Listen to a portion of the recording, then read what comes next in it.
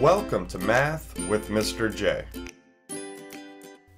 In this video, we're going to be taking a look at converting customary units of length.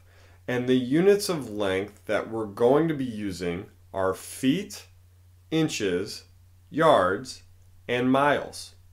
And as you can see, there are eight problems or eight conversions that we're going to go through together in order to help you get this down.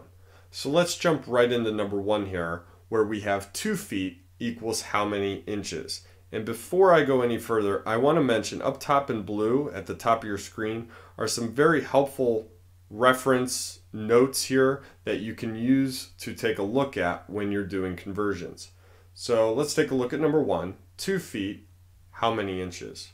Well, we know that one foot equals 12 inches, right? Think of a ruler. A ruler is 12 inches. So if you have two of those, we would have 24 inches. We need to do two feet times 12, right? We have two groups of 12 inches, which would give us 24 inches.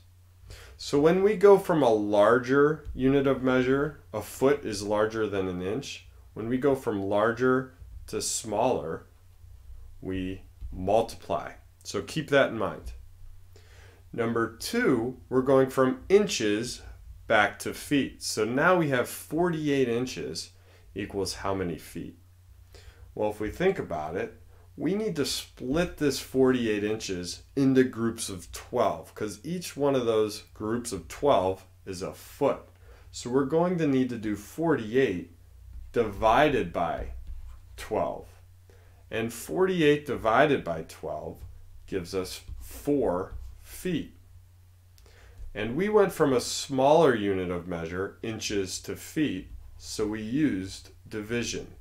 A smaller unit of measure to a larger, we use division.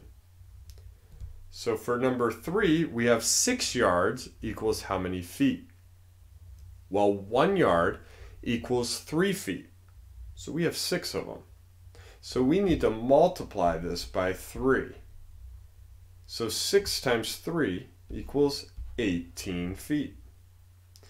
And think of a yardstick. A yardstick has 3 feet. So if we had 6 of them lined up, it's going to be 3 plus 3 plus 3 plus 3 plus 3 plus 3. I think I got 6 there, which it's just easier to do 6 times 3, and that's 18.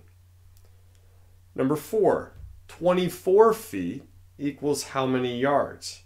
So now we're starting with feet and going to yards. So we need to split that 24 feet into groups of three, or we can think of it as dividing it by three.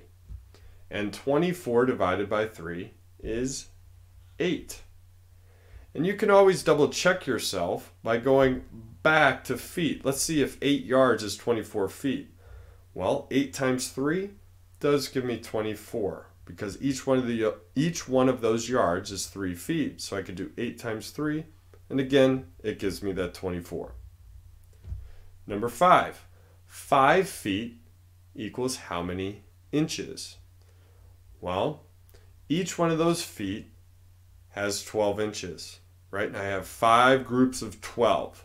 So I'm going to do 5 times 12, which gives me 60 inches. Number six, six feet equals how many yards? So think, how many, uh, how many feet in one yard? Well, three.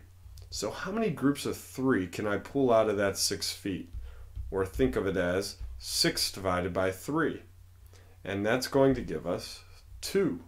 So six feet equals two yards. Two yards equals how many inches? Well, if we take a look up here at the top, one yard is 36 inches, which is three, one yard's the same as three feet, so 36 inches. So we need to do two times 36, two groups of 36. And if you think of it, a yardstick is 36 inches. So we have two of those. So 2 times 36 which is 72 inches. And lastly, miles to feet.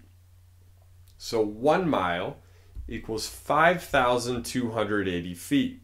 So we have two groups of that, two groups of 5,280.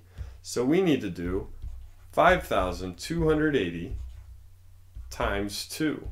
Or you could do 5,280 plus 5,280. So we would get